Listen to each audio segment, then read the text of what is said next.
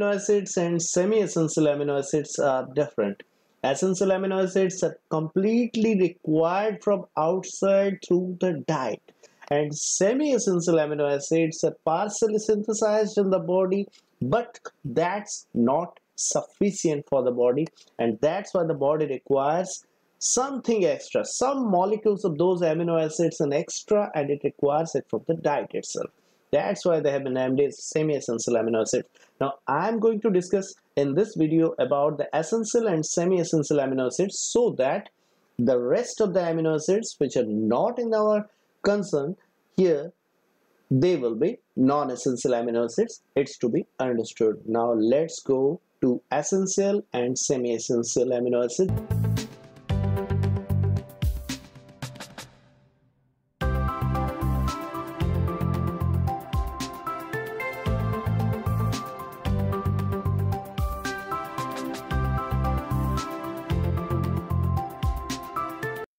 discuss about the types of amino acids and classify them into semi-essential amino acids and essential amino acids. The essential amino acids are those amino acids which are required in both children and adults. They number in seven and I have devised a mnemonic so that you can remember them and you can derive the name of the amino acids anywhere you can answer any question regarding this concern with this.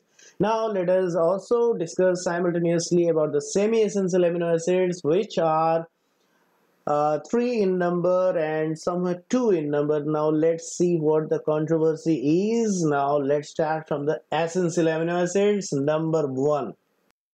Totally they are seven in number starting from phenylalanine lysine tryptophan leucine methionine valine and isoleucine. And i've devised the mnemonic as such. Phrases lying. Essential is a westward truth. Lets me validify it now pH stands for phenylalanine, LY stands for line, LY stands, stands for, for lysine, TR stands for tryptophan, let's LE stands for leucine, ME stands for methionine, VAL stands for valine, and I stands for isoleucine. So that's it. Now let's move on to semi-essential amino acids.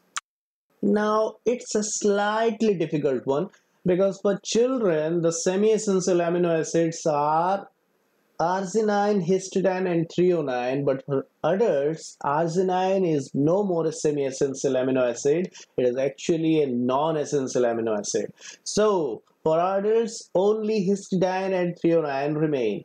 And that's why the mnemonic is like this. Child argues with his semi-essential grown-up thoughts now how this is exactly how to remember this why to remember this mnemonic and how can you derive it let me explain that.